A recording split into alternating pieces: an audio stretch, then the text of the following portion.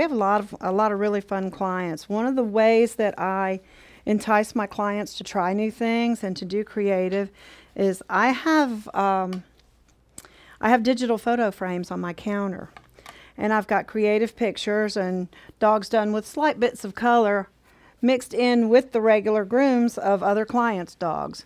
And so while they're sitting there watching for the picture of their dog to roll around, I'm subliminally hitting them with creative ideas, and they're seeing that more and more and more, and it starts to look normal to them. So it kind of helps to get them to decide to try something new.